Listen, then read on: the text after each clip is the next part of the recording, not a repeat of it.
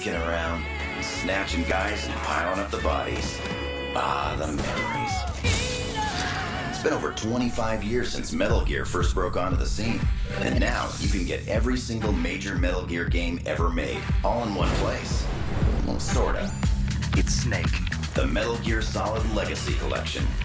You do get every title, but there's a lot of installing, code redeeming, and downloading before you can really get into all of them.